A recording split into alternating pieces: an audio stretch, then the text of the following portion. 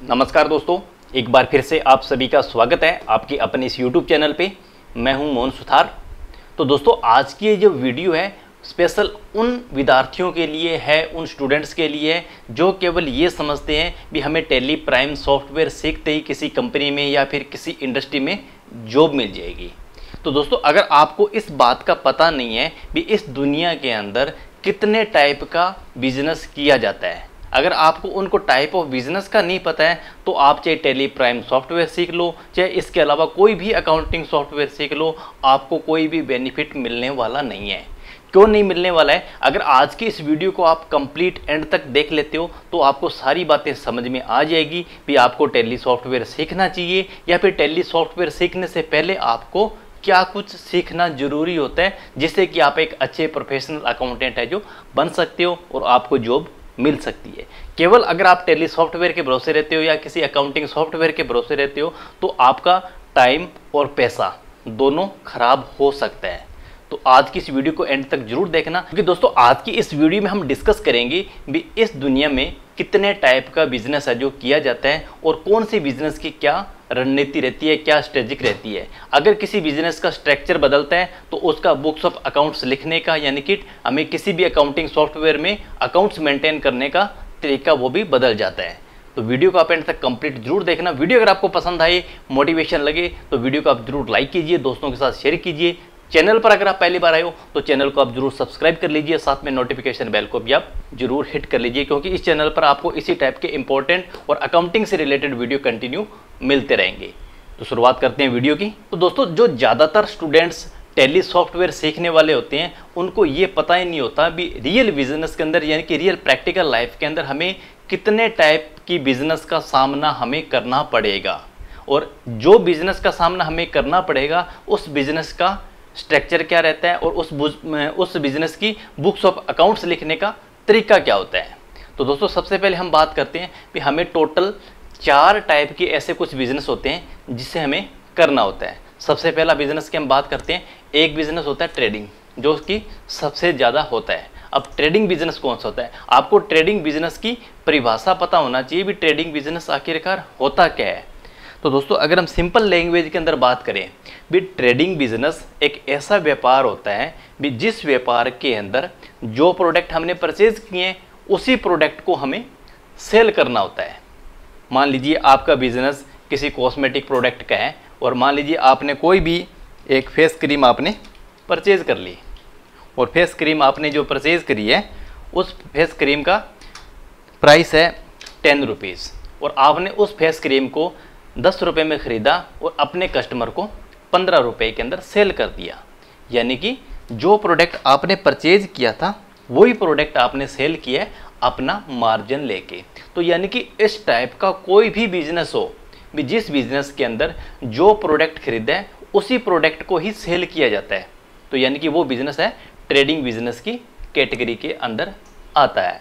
अब इसके अंदर क्या होता है कि आपने टोटल प्रोजेक्ट कितने का किया, आपने सेल उसको कितने का कर दिया, और आपके पास में स्टॉक कितना बचा हुआ है तो उसी के आधार पे आपका ग्रोस प्रॉफिट है जो कैलकुलेट होता है। अगर हम बात करें सेकंड टाइप की बिज़नेस की तो जो सेकंड टाइप का बिज़नेस होता है, वो होता है मैन्युफैक्चरिंग का। अब मैन्युफैक्चरिंग के बिज़नेस के अंदर क्या आता है? मैन्युफैक्चरिंग के अंदर आता है, जिसे हम एज ए इंडस्ट्री का बिज़नेस कह सकते हैं प्रोडक्शन का बिज़नेस कह सकते हैं। यानी कि मैन्युफैक्चरिंग के बिज़नेस के अंदर हम इजी लैंग्वेज के अंदर बात करें तो जो प्रोडक्ट उन्होंने सेल किया, वो उन्होंने परचेज नहीं किया और जो उन्होंने परचेज किया, उस प्रोडक्ट को उन्होंने सेल नहीं किया। अब फॉर एग्जांपल हम इसको समझते हैं, भी मैन्युफैक्चरिंग बिज़नेस की एक्चुअल में कहानी क्या होती है? अब इसके अंदर क्या होता है, भी रॉ मटेरियल है जो परचेज किया जाता है। रॉ मटेरियल का मतलब कच्चा माल।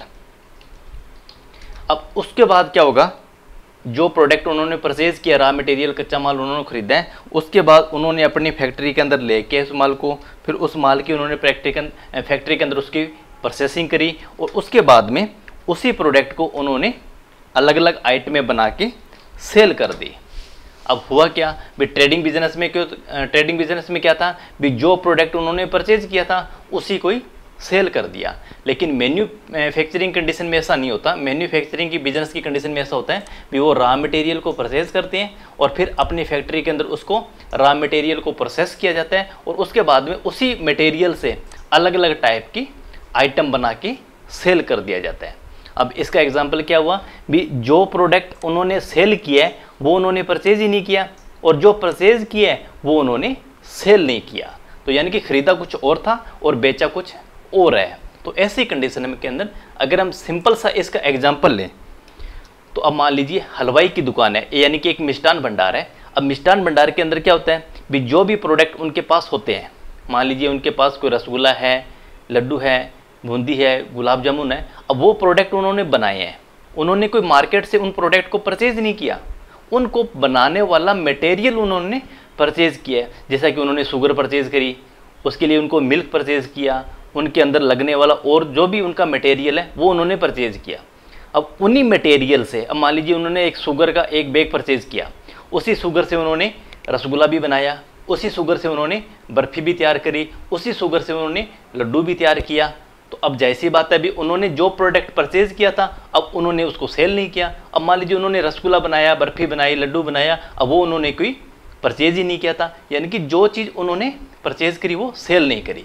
तो इस टाइप का कोई भी बिज़नेस है, जहाँ पर रॉ मटेरियल को परचेज किया जाता है, अपनी फैक्ट्री में उन्होंने प्रोसेस करी और फिर उसी प्रोडक्ट को उन्होंने अलग अलग टाइप की आइटमें बना के सेल कर दिया। तो इस टाइप का जो बिज़नेस होता है, वो मैन्युफैक्चरिंग का बिज़नेस होता है। अब ऐसी कंडीशन के अंदर क्या होगा? अब ट्रेडिंग बिज़नेस के अंदर तो देखो क्या हुआ था भी खाली परचेज और सेल होता है। परचेज और सेल का मीन्स क्या मतलब हो गया? यानी कि उन्होंने खाली उस प्रोडक्ट को परचेज किया और उसी प्रोडक्ट को उन्होंने सेल कर दिया।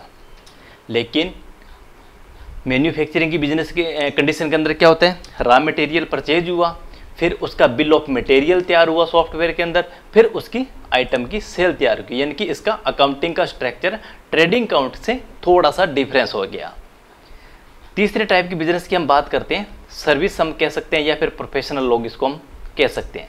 अब इस कैटेगरी के अंदर क्या लोग होते हैं? जैसे मान लीजिए डॉक्टर लोग हो गए या एडवोकेट लोग हो गए या अपने कह सकते हैं भी कोई इंजीनियर लोग हो गए या फिर हम कह सकते हैं कोई टीचर लोग हो गए यानी कि बहुत सारे इस टाइप के लोग होते हैं जो केवल अपनी सर्विस प्रोवाइड करके और अपना पैसा कमाते हैं। अब जैसे डॉक्टर है अब डॉक्टर दोनों कंडीशन से बाहर है, यानी कि वो ट्रेडिंग बिज़नेस भी नहीं करता है यानी कि डॉक्टर लोग होते हैं, वो न तो कोई प्रोडक्ट को परचेज करते हैं नहीं सेल करते हैं, और नहीं कोई मैन्युफैक्चरिंग करते हैं, यानी कि किसी प्रोडक्ट को बना के बेचते हैं। अब इनका काम क्या होता है? सर्विस का। अब ये लोग इस टाइप के जो बिज़नेस होता है, वो एज ए प्रोफेशनल की कैटेगरी में आता है।